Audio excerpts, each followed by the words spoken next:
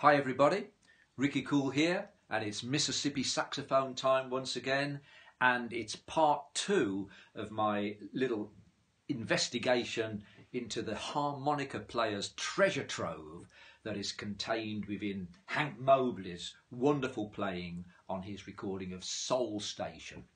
Now in part one we looked at a couple of um, ideas from the head arrangement. So if you haven't listened to or looked at part one yet, I would urge you to do that first. Okay, and I'll give you the link in the description.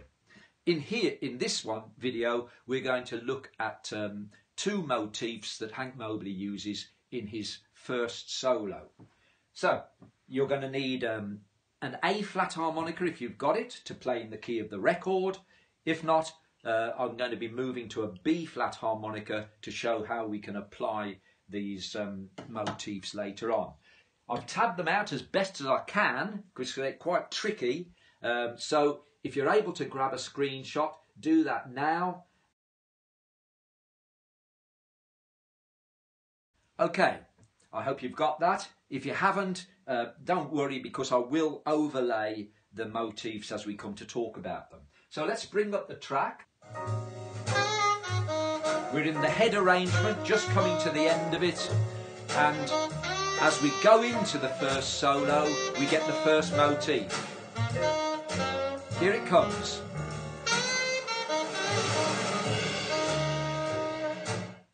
Right. It's quite tricky, but the great thing about it is um, it, to play the actual notes that Hank Mobley plays, we need to start a hole eight blow.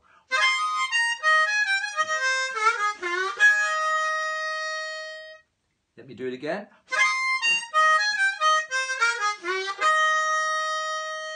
Now, I'm sure that's not exactly the phrasing that Hank Mobley uses, but um, it's as close as I was able to get because there's a drum roll which masks part of what he's doing. So, once more.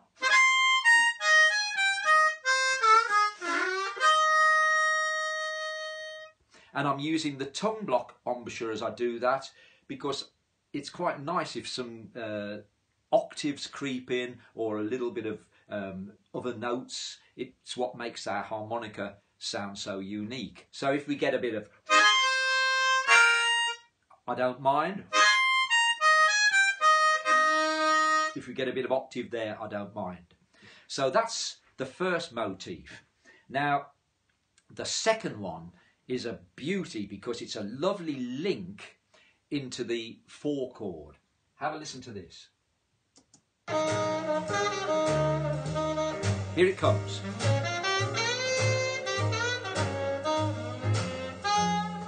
Oh, so good and so jazzy and what's more, it works on the harmonica.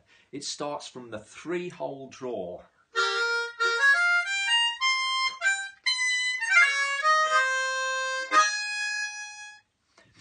And um, again, it gets us into the upper, upper area of our instrument. What he's actually doing there is he's playing the notes from an um, E flat 9 chord, starting on the third of the chord. So, that's the E flat 9. And then he adds some additional notes which come from the E flat major scale. And then I go back to the eight hole blow but put a half step bend in it and then a kind of little fall off and finish it off like so. Now as I said these are quite tricky little motif ideas so I thought it would be quite useful to um, apply these to a slow blues so that we can take a little bit more time in our playing and think about trying to play as accurately as we're able to.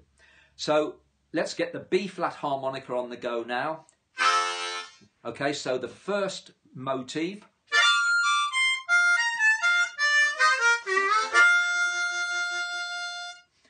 And I've got a, a, a, a slow blues in F from um, MCC D sessions.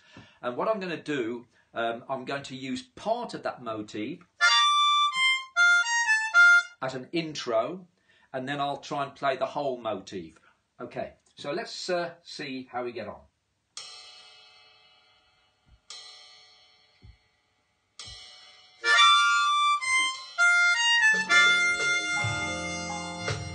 Now the whole motif.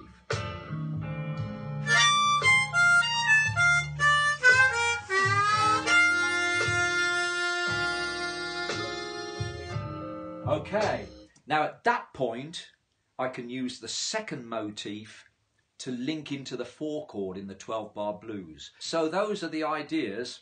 So let's go back now um, and I'm going to use that first bit of motif one as my introduction. Then I'll play motif one and then I'll play motif two to link into the four chord. Okay, let's see how we get on.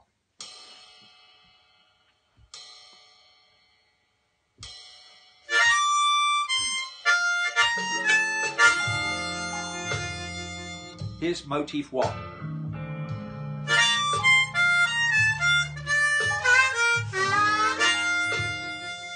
Motif two.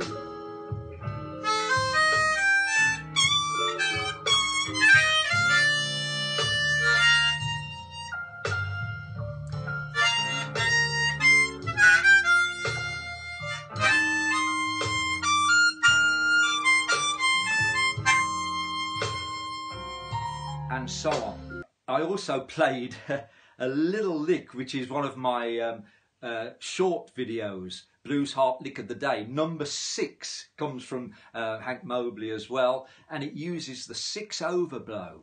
So it's a good little way of, um, you know, beginning to get into playing overblows if you're interested. So do check that one out. As I continue playing, I'm going to try to concentrate my ideas in the upper uh, register of the harmonica for practice purposes.